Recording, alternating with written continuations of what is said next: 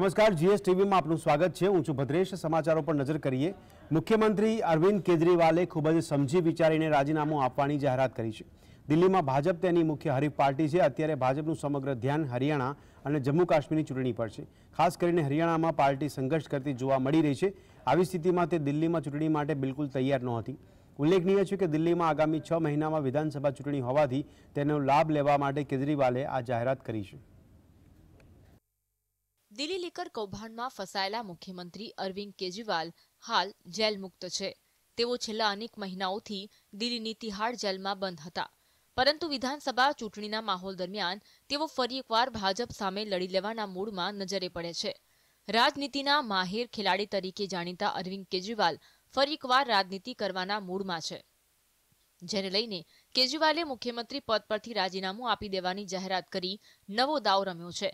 તેમણે કહ્યું કે તેઓ બે દિવસ પછી પોતાની ખુરશી છોડી દેશે कोर्ट ने हमें बेल दे दी अभी बेल तक ही दे सकता था अब ये केस चलेगा मैंने वकीलों से पूछा मैंने कहा मेरा दिल कहता है कि जब तक ये मैं कोर्ट से बरी होके ना आ जाऊं तब तक मैं सीएम की कुर्सी पे नहीं बैठूंगा उन्होंने कहा जी ये दस साल चलेगा केस અરવિંદ કેજરીવાલ લગભગ છ મહિનાથી જેલમાં હતા તે સમયે પણ તેમના રાજીનામાની માંગ ઉઠી હતી ભાજપે આને ખાસ મુદ્દો પણ બનાવ્યો હતો, પણ કેજરીવાલ ઝૂક્યા ન હતા.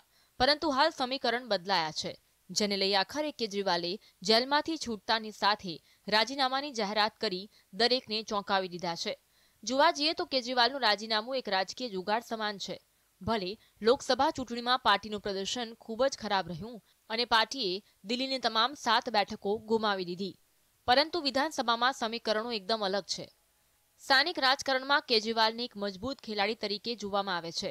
રાજીનામાની જાહેરાત કરી કેજરીવાલે એક કાંકરે બે પક્ષી મારવાની કોશિશ કરી છે. તેમના રાજીનામાની માંગ કરનારાઓને જવાબ આપવો અને તેમની લોકપ્રિયતા જાળવી રાખવાની સાથે તેનો ફાયદો ઉઠાવવાનો પ્રયાસ હાલ કેજરીવાલ કરી રહ્યા છે.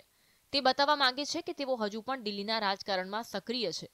તો બીજી તરફ ભાજપે કેજરીવાલના રાજીનામાને લઈ તેમને ઘેરવાનો પ્રયાસ કર્યો હતો. દો દિન કા સમય ક્યું ચાહીએ કેજરીવાલ?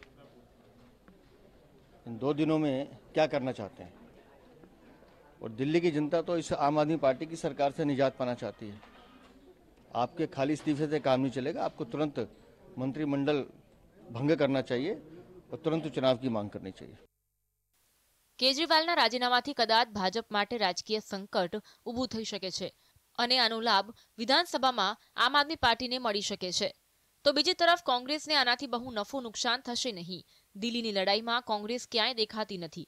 લોકસભા ચૂંટણીના પરિણામોએ પણ તેની પુષ્ટિ કરી છે. એક રીતે આમ આદમી પાર્ટી પાસે કોંગ્રેસના રૂપમાં બેકઅપ છે.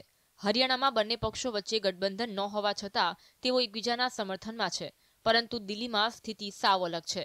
Bureau report, G S T V.